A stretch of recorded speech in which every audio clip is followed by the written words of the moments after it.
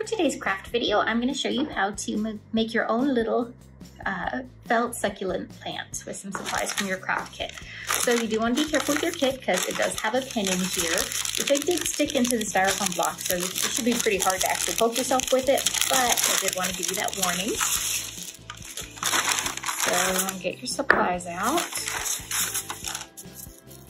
So you should have a little pot, a styrofoam block with a pin in it, and your felt leaves. So the leaves are different sizes.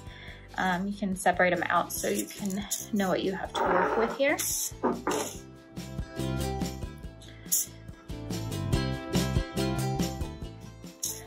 And first thing you're gonna do, take the needle out and then you're gonna cram this in here. And depending on the shape of your block, you can stick it in like this, you can wedge it in like this, however you can wedge it in.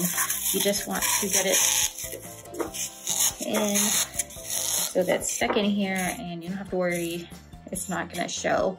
See how this one doesn't show at all? So this one gonna show. So you just want it to be wedged in there and you can throw away any extra little bits that fall off. Um, so to start with, you wanna take this piece right here. So we're gonna start at the center and work our way to the outer leaves. So for this, you're gonna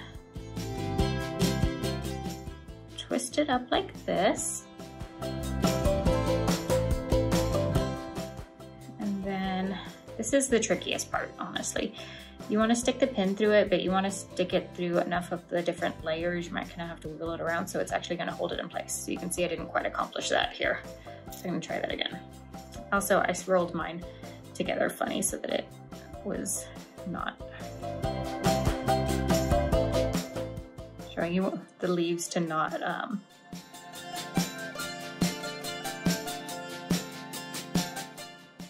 to not be layered directly on top of each other. You want them to be kind of staggered. One more time.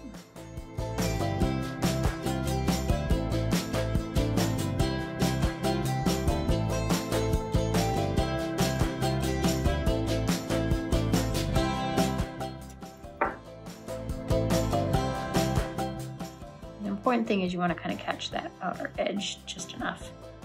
There you go. So that'll work. You can push it. It's all the way there. Okay, next you want to find the next smallest one and you're gonna overlap them like this so it kind of makes a little cone and then stick it through hold it in place.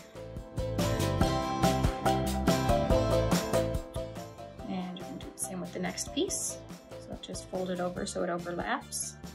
And it's gonna help the leaves stick up. And then stick your pin through and you wanna stagger the leaves, so try to make them so they'll be alternating. There. Let's see, this one looks next size up.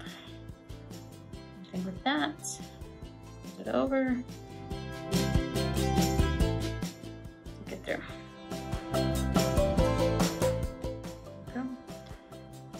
It over. Oops.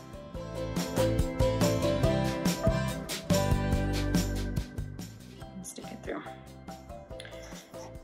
All right, so these two I think were about the same size, maybe a little bit smaller. This one you just stick straight on. Same thing with this one. Just remember to alternate the leaves. And then the last one here. And now I'm stick the whole thing in. There you go. I'm gonna out these leaves to make it hold how you want it. Um, if you do have a hot glue gun at home, you could also do this same project with a hot glue gun, but in order to make this work for everyone, even people without a hot glue gun, we did it with a corsage pin. And now little succulent plant is done.